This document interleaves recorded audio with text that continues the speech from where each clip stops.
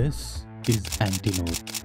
It costs only $5 and will be the best $5 you have spent on a Mac app. And if you stick to the end of this video, you might just get it for free.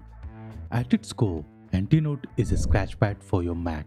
It's where all your texts go before you file them into a permanent place. But that's not all. It is also a quick calculator, a place to jot down tasks, create timers and countdowns, and save your clipboard. So let's dive in as I tell you why this app won me over in minutes. Once you install Antinote, you can access it from the menu bar, the dock, or my favorite way, the keyboard shortcut. No matter what you're doing, you can hit the keyboard shortcut option A and the Antinote window will pop up and be ready to go. If a thought comes to mind that I want to jot down, I can hit the keyboard shortcut, type my thoughts and close the window in seconds. It does that even if you have an app open in full screen mode. Here, I have Arc browser open in full screen mode. Say, I came across a piece of text I want to save. Instead of copying the text and switching to my Notes app, I can hit the keyboard shortcut option A and Antinote will pop up right on top.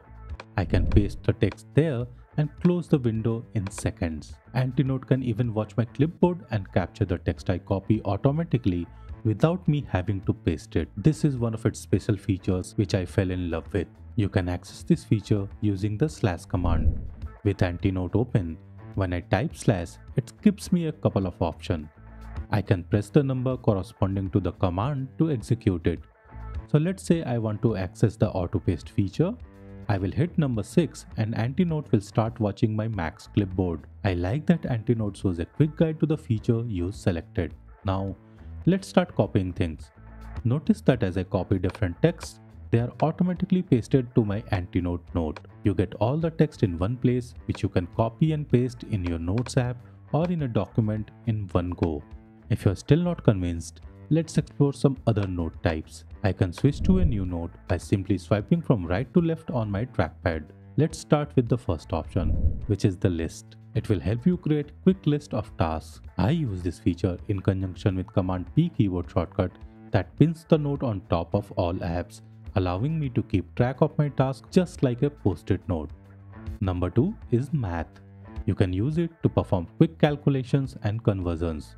It's far better than opening your calculator app. You can also use this maths note feature to perform simple currency and unit conversions. Want to know how much $100 is worth in your currency or how many inches are there in 100 centimeters? You can do all that in seconds with Antinote. The third action is sum which adds all the numbers added to the note.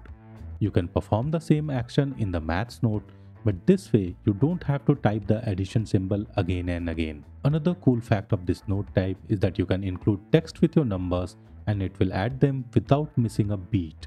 The fourth note type gives you an average of all numbers. Frankly, I don't find use for this one, but it's there if you need it. It adds all the numbers and gives you their average. Next is count, which I find quite handy for counting words and characters in a piece of text. It also gives you the number of items on the list, which can be handy. Next is auto paste function, which I have already shown. So let's skip to the last one, which is the timer. I love this simple feature.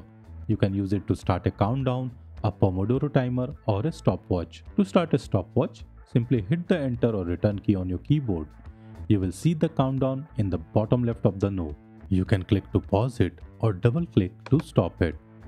If you want to start a timer, type timer followed by a space and then the time in minutes. Finally, hit enter to start. You can also start a Pomodoro timer if you use that productivity technique. Antinote is chock full of these features for example, one thing I forgot to mention is its ability to OCR. Suppose I have a screenshot with some text in it.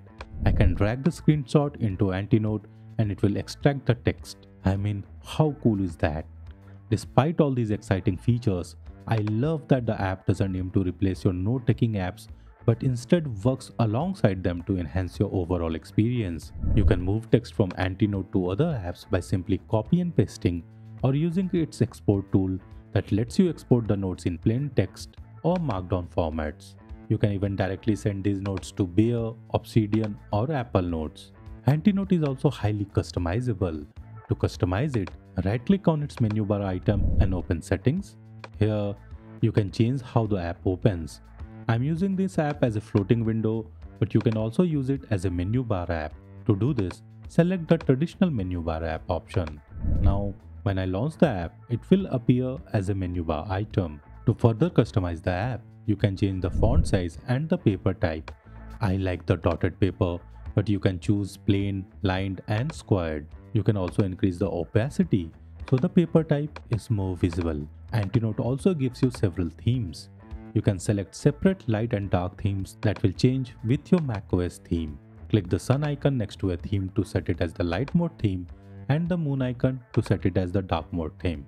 There are tons of other settings you can change, so play with them to make the app your own. Now, as I promised, here's how you can get this app for free. I have a few activation code for this app that I'm giving away. To participate, subscribe to our channel and comment below sharing what you like about this app.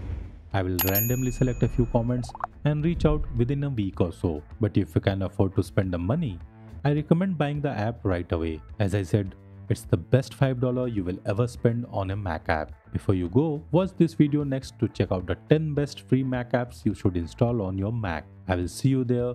Thank you for watching and have a fantastic day.